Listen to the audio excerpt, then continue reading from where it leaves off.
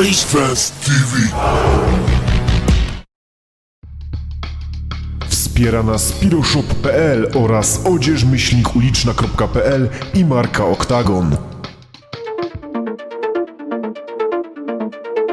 Fanatycy ŁKS-u pojawili się w sobotę 27 lutego pod halą w Sochaczewie, gdzie odbywała się amatorska liga MMA, na której obecni byli widzewiacy. Padły propozycje, lecz finalnie do niczego nie dochodzi. W sieci pojawiły się już relacje obu stron. Najpierw przytaczamy wersję ŁKS-u. Post został zamieszczony na profilu ŁKS Łódź Nieśmiertelna Zajawka. Przez parę ostatnich edycji zawodów ALMMA chuligani Widzewa obrali sobie za cel uprzykrzanie startów naszym zawodnikom.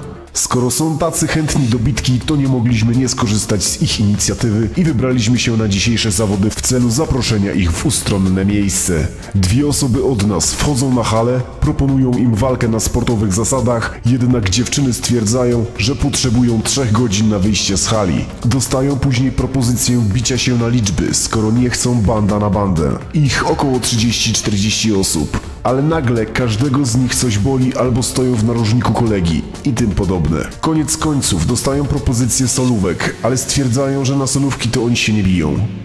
Zaznaczamy swoją obecność paroma okrzykami i zawijamy do łodzi. Warto zaznaczyć, że nikomu włos z głowy nie spadł. Chcieliśmy się bić na każdy możliwy sposób, ale chuligani Widzewa oprócz blues z hooligans nie prezentują sobą nic. W tamtym roku upokarzaliśmy was na każdym kroku i w tym roku będziemy to kontynuować. Eś Rzetka. Nas cztery dyszki. Posłuchajcie, co na to widzewiacy. Odnośnie dzisiejszej pokazówki największych farmazoniarzy w Polsce. Cała historia zaczęła się na poprzedniej odsłonie amatorskiej ligi MMA odbywającej się w Puławach, gdzie na widok naszych barw koleżanka z zamiedzy podbiła do naszego kolegi o solówkę.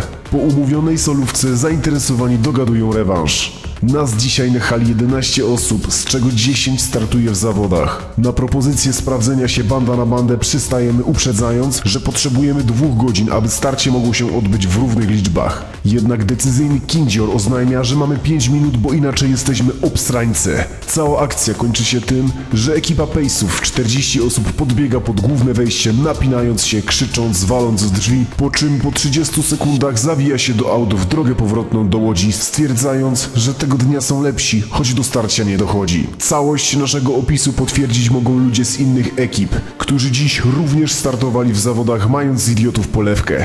Dodajmy, że złamane zostały ustalenia dotyczące tego typu imprez. Jebać was garbate nosy. Czyja wersja trafia do was najbardziej? Dajcie znać w komentarzu. Łapka w górze pod filmem, jeśli chcecie więcej tego typu relacji na kanale. Nie zapomnijcie zerknąć w opis filmu, bo tam nasi partnerzy przygotowali dla Was rabaty po podaniu kodu PolishFans.tv. Do następnego. Subskrybuj największy kanał kibicowski w Polsce oraz bijaj na stronę www.polishfans.tv Zapraszamy na zakupy w piroshop.pl z kodem PolishFansTV 5% rabatu.